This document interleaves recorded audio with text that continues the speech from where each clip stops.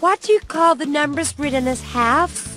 They're called fractions. Why are there two numbers, one up and one down? Because fractions have got a number above the bar, called numerator, and a number below it, called denominator.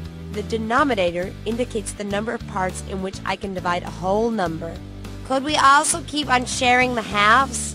Of course. During the break, one of you had a doubt, and I think it'd be a good idea if we could all think of an answer for it. That student shared some chocolates with her friends, but when she finished, she realized there was some left. What would you have done?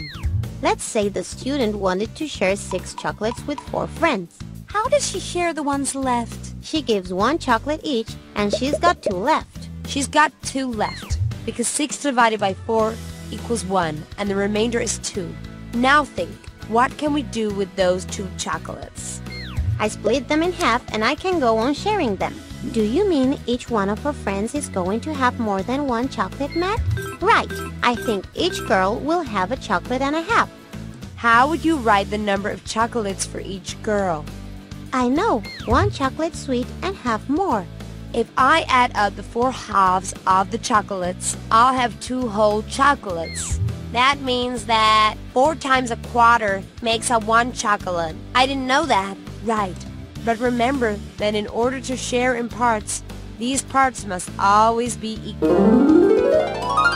Hi, Dad. What are you doing? I'm arranging the CDs. I've realized that out of the total number, which is 20, half of them are ballads. What about the rest? I've got 5 tango CDs and another 5 jazz CDs. Shall we turn numbers into fractions? Let's see how much you've learned at school this week. Okay, Dad. You said that you've got 20 CDs and that half of them are ballads. That is, 10 CDs are ballads. Yes, plus 5 tango and 5 jazz CDs. It's easy. Ballad CDs are the half. Tango CDs are a quarter. And jazz CDs are another quarter. Right, Lucy.